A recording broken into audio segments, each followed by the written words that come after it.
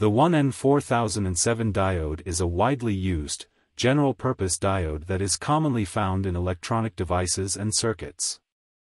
It is a type of rectifying diode, which means that it is used to convert alternating current, AC, to direct current, DC. The 1N4007 diode is a silicon-based device that is capable of handling up to 1000 volts of reverse voltage and up to 1 ampere of forward current.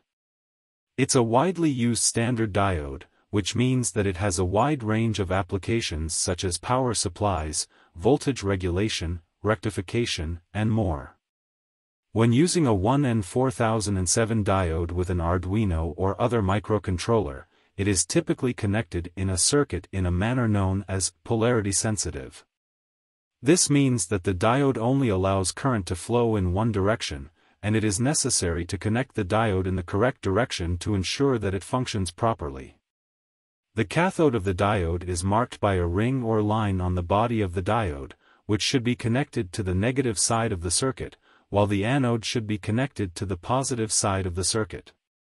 In terms of performance, the 1N4007 diode is relatively slow, which means that it has a relatively long recovery time. This means that it is not suitable for high-frequency applications where fast switching is required.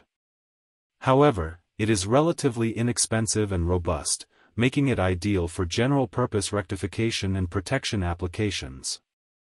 Overall, the 1N4007 diode is a reliable and versatile component that can be used in a wide range of electronic circuits and devices.